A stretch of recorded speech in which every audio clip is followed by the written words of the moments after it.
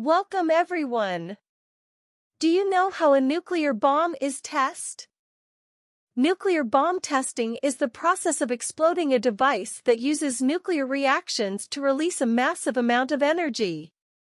The explosion is typically carried out at a remote testing site and can have devastating effects on the environment and human health. However, many countries have agreed to stop nuclear bomb testing to reduce the risk of nuclear war and promote disarmament.